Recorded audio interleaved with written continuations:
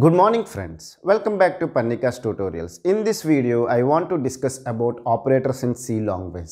You know that in the features of C, C is a robust language. What is robust language? It has rich inbuilt functions and also rich operators. So C supports 8 different types of operators such as arithmetic operator, relational operator, logical operator, assignment operator, increment and decrement operator, you have a conditional operator, bitwise operator and special operator. So like that we have totally 8 different types of operators. So I will discuss all these different types of operators one by one in detail. So I request everyone to watch the complete video for better understanding. First let me write all the 8 different types of operators.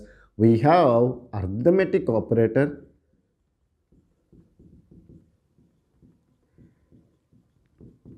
we have relational operator. We have logical operator. Okay? We have assignment operator. Okay? We have increment or decrement operator. And then we have the conditional operator okay? Bitwise operator. And then we have the special operator. Okay? Is it clear? So totally we got eight different types of operators such as arithmetic relational logical assignment increment and decrement conditional bitwise and special operator. So i will discuss each one in detail. First let me discuss about the arithmetic operator. This arithmetic operator supports addition, subtraction, multiplication, division and modulus. Is it clear? These are the five different arithmetic operators the C language permits. Now already you know what is this unary addition. Suppose let's take that you have 2 plus 3, it will give the output as 5. You already know about the addition. Similarly, you know about the subtraction and also the multiplication. Now let me discuss about the division and the modulus. Now let's take that you are dividing 10 by 2. Now you will get whenever you are dividing, you will get two things. One is the quotient and the remainder. The division operator will give you the quotient and the modulus operator will give you the remainder. What is my point here I want to tell you is that if you are doing 10 by 2, the division operator will give you the output as 5 if you are doing 10 modulus 2, then it will give you the remainder. So, the division operator will give you the quotient and modulus operator will give you the remainder. Okay. And one more important point I want to tell you is that related to the modulus operator. The modulus operator, you can use it only for the integer constant. Suppose if you are writing 10 modulus, suppose 10.0 modulus 2.0 this is not valid. You can use the modulus one only between the integer constants. You cannot use it them for the real constants. And one more thing I want to tell you about the modulus operator. If the, let's take that you are thinking 14 modulus 3, what is the output it will give? 14 modulus 3, what is the remainder and what is the quotient? 3 4s are 12. So, you will get the remainder as 2 and quotient as 4. So, if both the numerator and denominator is positive, you know that result will be positive. Suppose let's take that you have the numerator as a negative number and denominator is a positive number. Then what is the modulus operator will give you? It will give you minus 2. Suppose let's take that you are dividing 14 modulus minus 3 then lot of people will think that it will give minus 2 because one is positive and another one is negative. So finally the result will be a negative. Am I right? If you are thinking like that, it is wrong. Always remember one thing, the sign of the result will be depend on the sign of the numerator. Whatever the sign of the denominator, it does not look. Whatever the sign of the numerator, that sign will come for the result. So here it is a negative, it will come negative. As here the numerator is a positive number, the result will be plus 2. This is correct. where minus 2 is wrong. Similarly, let's take that you have minus 14 modulus minus 3 then also it will give you the minus 2. Lot of people will think that it will give a plus but the numerator has the negative symbol so the result will also get a negative. So this is about the modulus. The modulus you cannot use them for the real constants and the result sign will depend on the sign of the numerator. So this is about the arithmetic operators. Okay.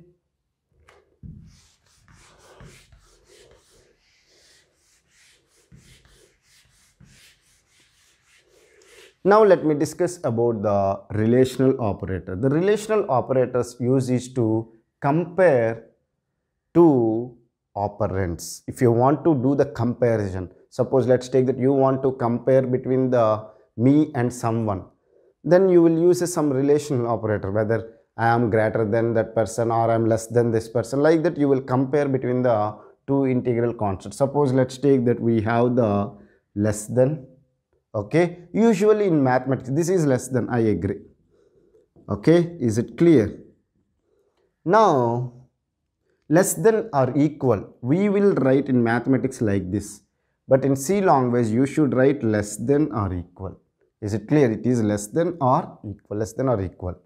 This is for greater than. This is greater than or equal. Okay. This is for equal. You want to compare whether two operands, let's take that or two variables. Suppose you want to compare A value is equal to B value or not. Okay. Where A and B are the two variables. If you want to compare whether you want to check whether these two are equal or not in mathematics, we will write A is equal to B. Then it is a comparison because it is an LHS and RHS. We are checking LHS is equal to RHS or not. But in C, if you want to compare two things, whether they are equal or not, you should use this one. Okay. You want to check whether they are not equal or not, you should write like this, not equal. Is it clear? Now, let me tell you one more thing. Suppose let's take that you have written int a is equal to 5 b is equal to 5 also. And you are writing int c is equal to a is equal to is equal to b you have written a statement. Then what is the c value you will get? Now look at the first thing it will check whether 5 is equal to 5 tell me whether 5 is equal to 5 5 is equal to 5 so it is true okay because when you are comparing you will get any one of the outcome whether it is a true or false if it is true, you will get the value 1. If it is false, you will get the value 0. So, as a is equal to means 5 is equal to 5, so this will give the result as 1. So, that value c will be assigned with a value 1. If you are displaying the c, you will get the output as 1. Suppose let us take the b value is 6 here. If you are comparing a is equal to b, then what is his A value is 5, B value is 6. Whether 5 is equal to 6? No, false. Then it will give you the value as 0. That value will be assigned to the variable C. So this is about the relational operators. They will be useful for comparing the two things. If the comparison is true, means if the result is true, you will get the output as 1. If the result is false, you will get the outcome as 0. Okay. So this is about the relational operators. Okay. Now let me discuss about the logical operator. The logical operators, we have the logical AND, okay, logical OR and logical NOT. Okay. Is it clear? Are you able to understand it or not? You have the logical AND, logical OR and logical NOT. Now let me discuss about these things. Now this logical AND and logical OR, you will use them for the more than two one condition if you have. Let's take that you have a condition 1 and you have a condition 2. Suppose let's take that, okay. Um, let's take that you want to go to college, okay. That is the primary objective you have. When you will go to the college, if it is a weekday and you have a mood to go to the college. Is it clear? Then only you will go to the college. Am I right? If it is a weekday and also you have the interest to go to the college, then only finally you will go to the college. If any one of them is wrong, meaning is that even if it is a weekend or if it is a weekend, still if you have a mood, then you will not go to the college because it is a holiday. Similarly, let's take that if it is a Monday and you don't have interest to go to the college, then also you will not go to the college. So, the condition end is nothing but the final result will be true when this condition and this condition both are true then only it will give you the output as true are you able to understand if this one is true and this is also true. Then only the outcome will be true. Suppose if you want to check it let me check it for you. Condition 1 condition 2 each condition can have true or false. If this is true and this is true then only the final result let me write it as result then only it will be true. If any one of them is false then the final result will be false. Okay? If both are false also then it will be false is it clear? Are you able to understand it or not? If both are true then only the final result will be true. That is about the logical and operator. Now let me discuss about the logical or operator. The logical or operator is the logical or operator if any one of them true then the final result will be true. Is it clear? If condition 1 is true or condition 2 is true, then the final result will be true. Suppose let's take it. If both the conditions are true, then it is true. Any one of the condition is true, then the final result will be true. Okay. And this is false.